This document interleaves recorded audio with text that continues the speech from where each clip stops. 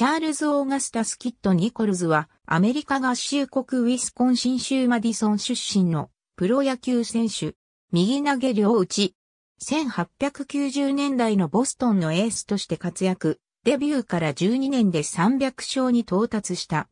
1869年にウィスコンシン州マディソンで父ロバート、母、クリスティーナの間に生まれる。ロバートは肉屋でマディソンに複数の食料雑貨店を営んでいた。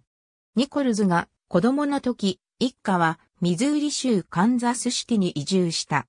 ニコルズの兄弟が家族の店で働いている間、ニコルズは野球の練習を積んでいた。1887年、ウエスタンリーグのカンザスシティカウボーイズでプロデビュー。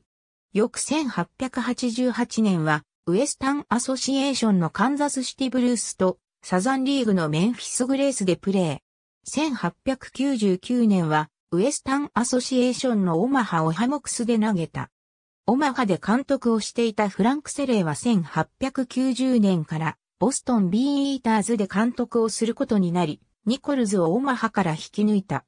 ニコルズは20歳でメジャーリーグデビューを果たし、1年目から27勝19敗の好成績を上げる。2年目にはシーズン30勝に到達。その年から1894年まで4年連続で30勝以上をマーク。チームもナショナルリーグ3連覇を果たす。この間、1893年に投手と本塁間の距離が50フィートから60フィート6インチになるというルール改定も行われたが、彼の成績にはほとんど影響しなかったようである。1895年に26勝を挙げた後、1896年には再び30勝14敗、その年から3年連続でリーグの最多勝投手となり、チームのリーグ連覇に貢献した。1899年は21勝19敗で、デビューからの20勝以上のシーズンを10年連続に伸ばした。20世紀に入った1901年に史上最年少の30歳で通算300勝に到達。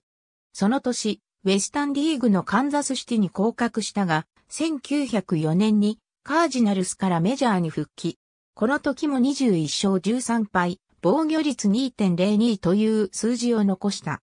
1906年に引退後は、カンザスシティでプロボーラーに転身し、クラス A の大会での優勝を果たしたこともある。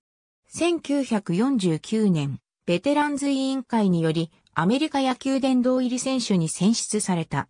1953年カンザスシティにて死去。ありがとうございます。